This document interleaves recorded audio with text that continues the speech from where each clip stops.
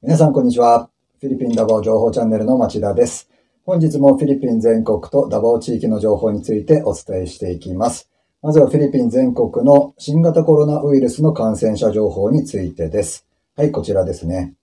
えー、一番上の数字は感染者の総数から、えー、回復者の総数と死亡者の総数を引いた数になっております。現在も陽性の状態が続いている人数が59,700人ですね。これがフィリピン全国でまだ陽性の状態が続いている人たちの数を表しています。その次、新規感染者数は下の黄色い四角の中にある2180人がえ新規感染者数となっております。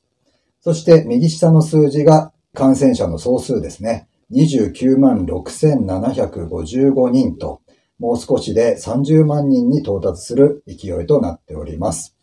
そして真ん中の円グラフの中が、現在感染している人のうち、軽症の人が86.6%いることを表しています。そして左側に NCR とか、えー、数字が並んでるんですけども、NCR というのはマニラ首都圏ですねえ。やはりマニラ首都圏から一番多くの新規感染者数が出ているということが表されています。続きましてこちらですね。左の数字が、えー、回復者の総数を表しています。23万1928人。そして新規感染者数が黄色い四角の中にある580人ですね。そして隣が死亡者の総数5127人。新たな死亡者が36人出ているという数字が現れています。えー、そしてこちらですけれども、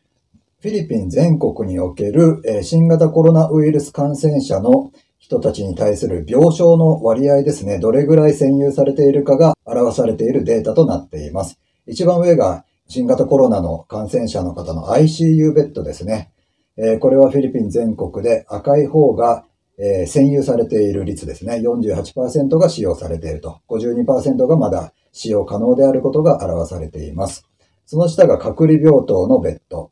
が42%占有されていまして、その下、えー、一般病棟ですけども、コロナ専用の病床がですね、45%占められています。一番下は、えー、人工呼吸器ですね。が24%が占められていて、76%は使用できるということが表されています。まあ、人工呼吸器以外は、まあ、あれですね。まだやっぱり油断できないという状況が続いていますね。はい。そしてこちらですけれども、マニラ首都圏がどうかと、あの、感染者が一番出ているマニラ首都圏ですね。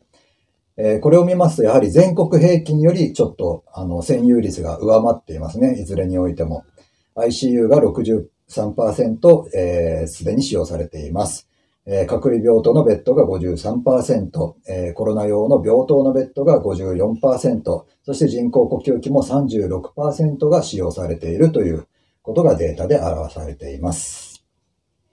そしてこちらですけども、フィリピン全国でどれぐらいの人がすでに検査を受けているのかというデータですね。329万5537人がすでに検査を受けているというデータとなっています。続きまして、私が住んでいるダバオ地域の情報です。こちら一番上はやはりあの同じアクティブケースと言いまして、えー、現在も陽性の状態が続いている人がどれだけいるかという数字ですね。458, 458人です。そしてその下が新規感染者数47人出ています。まあ、新型コロナウイルスのね、感染者が出た当初の頃は1人出ただけでも大騒ぎだったんですが、今はもう47人、まあ、まだまだ出てるなという感じで、おそらく他の人も、えー、以前とはね、捉え方が変わってきているんじゃないかなと思います。そして、え、右下の赤い四角の中に書いてある数字が、ダバオ地域全体での新型コロナウイルスの感染者総数です。2776人。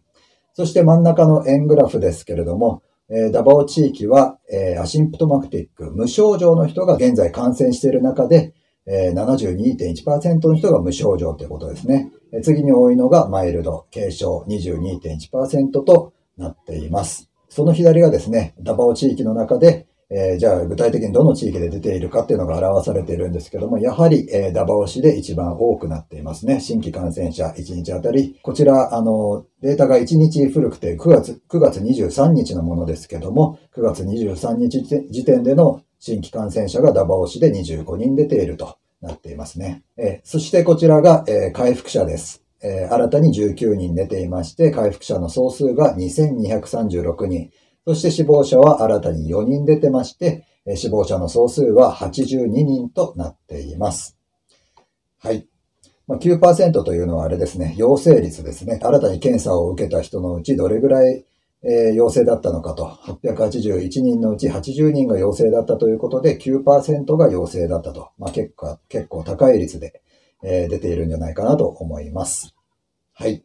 というわけで引き続きフィリピンにお住まいの方は新型コロナウイルスの感染に気をつけていきましょう。はい、そして本日のメインですね。フィリピン、ダバオ、お酒の飲み方、ウィズコロナというお話をさせていただきます。ちょうど今日のですね、新型あ、今日のサンスターダバオ新聞という新聞があるんですけども、そこのオンライン記事で、ダバオのお酒について書かれていましたので、これを皆さんにお伝えしようと思います。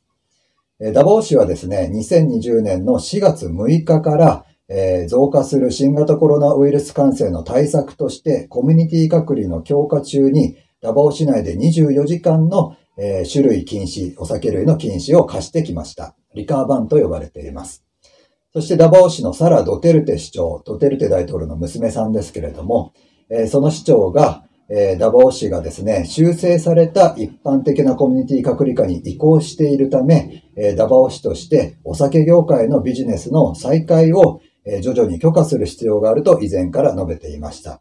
そこで、えサラ・ドテルテ市長はですね、9月の21日の月曜日から、え24時間の酒類禁止を正式に解除しました。24時間ダメだったんですけれども、えそれを解除するということを発表しました。えしかしですね、ダバオ市では新型コロナウイルス騒ぎ以前からですね、実はリカーバン、お酒類禁止の時間帯というのがありまして、それは引き続き継続しますよということも同時に発表されています。ダバオ市ではですね、以前からお酒の提供または消費は午前1時から午前8時まで、要は深夜の時間帯から朝にかけてはお酒類の販売またどこかで消費するというのは禁止されていたんですね。それが24時間にコロナの規制が厳しくなる中でなりまして、それが21日からは、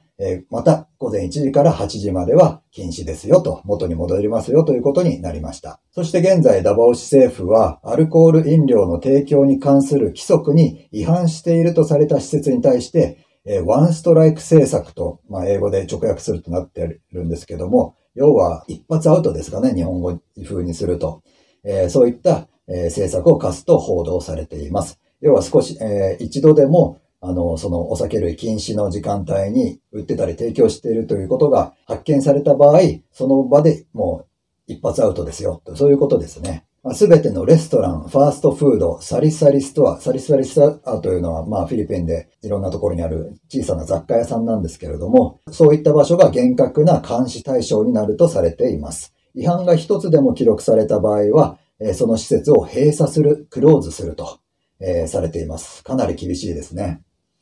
新しいガイドラインの下では、一人の顧客に提供されるお酒の量も、え明確に定義されています。飲食店では最大2杯のアルコール飲料が許可されるとされています。ビールの場合、ボトルまたは缶が 400ml 以下であれば2本まで、えー、ですね。えー、提供することが許可されています。また、カクテルの場合、1杯の注文が 200ml 以下であることを条件として2杯までとされています。また、ウイスキーなど強いお酒の場合は、2杯までやはり注文できるんですけども、1杯あたり 100ml を超えないようにする必要があると、えー、そういうとこまで細かく決められているんですね。そしてガイドラインでは、顧客あたりの2杯までビールは 800ml、そしてカクテルは 400ml、強いお酒に関しては 200ml を超えてはならないとされています。ダバオ市長が発出した行政命令では、店の名前にバーという単語が含まれているが、えー、お酒類を提供することがメインの事業でない店、例えばビデオ系バーとか、レストランバーとか、えバーという名前が入ってるんですけども、本業はえー、ビデオ系ですとか、レストランなんだというところは、営業を引き続き許可すると、えー、発表しています。行政命令では、卸売店、サリサリストア、えー、食料品店、スーパーマーケット、その他、同様の店でのビールやお酒の販売、持ち帰りやデリバリー用のえー、お酒の販売に制限がないとされています。サリサリストアは、え、ビールやその他アルコール飲料の販売を許可されているんですが、そのサリサリストア店舗の前でよくお酒飲んでる光景が以前は見かけられたんですけども、そういうのは、え、許可されないとされています。まあ、人々が集まって、まあ、要は宴会みたいになっちゃうことですね。そういうことは、え、サリサリストアのもう周囲では行ってはダメだと。それももしバレてしまったら、そのサリサリストア自体がクローズされることになるということですね。ということでですね、えー、お酒類の禁止がダバオ市では緩和されて以前のようにも、あの時間帯は戻っているんですけども、えー、ダバオ市のサラ市長は、引き続きダバオ市民に対して新型コロナに対する予防対策を忘れないようにとの呼びかけを繰り返しています。サラ市長によりますと、レストラン、ファーストフード、その他の施設の顧客は、飲食するときのみフェイスマスクを外すようにと呼びかけています。えそして、あの、食べるのが終わったり、食べないときまたは飲まないとき以外はフェイスマスクをその店内では着用する必要があると市長が発言をしています。また、お酒類の提供者はですね、フェイスマスクの上にフェイスシールドを装着して、少なくとも1メートルの距離を店内では保つようにし、すべての人が手洗い、えー、または手の消毒を利用することができるようにする必要があるとされています。はい、先ほどバーという名前についてというお話をしたんですけども、貿易産業省のガイドラインでは、アルコール飲料を提供することを主な事業としているビールハウスとか同様の施設、ナイトクラブとかバー、ビアガーデンなどですね、は、いかなる形のコミュニティ隔離下でも営業することはまだ許可されていないとしています。はい。なので、主なビジネス、要は登記しているメインビジネスというのが、お酒の提供でないのは、たとえ店の名前にバーというのがついてても、えー、ダボーシの場合今許可されてるんですけども、もうメインがバーですとか、お酒を提供するのが、えー、目的で登記されているお店は、えー、今、まあ、ダボー市だけでなくフィリピン全国で新型コロナのもとコミュニティ隔離というのがいずれの地域でも課されていますので、その間は開けることはできないと貿易産業省が発表しています。はい。というわけでですね、私自身はお酒飲めないんですけれども、本当にお酒好きな方はこのダバオ市のずっと、えー、お酒禁止だっていうのをですね、いつ、いつ解禁されるかっていうのを本当に待ち遠しく待たれていたので、えー、私のところにもお酒解禁になった時にはですね、あの、やっとお酒買うことができましたっていう連絡ですとか、今日はもういっぱい飲んでしまいますとかですね、えー、また次の日に、やっぱ昨日飲みすぎましたとか、そういう微笑ましい連絡とかお話があったりもしました。まあ、あの、お酒飲まれる方はどうぞ飲みすぎには気をつけてください。はい。というわけで、日本とはまた違ったこのダバオ市のお酒の飲み方、ダバオ市ではお酒の提供のされ方がこうなっているということを今日お伝えしました。え私の動画ではこのようにフィリピンのことやダバオ市のことについて、え情報をお伝えしています。えぜひチャンネル登録がまだの方はよろしくお願いいたします。それではまた次回の動画でお会いしましょう。最後までご視聴いただきありがとうございました。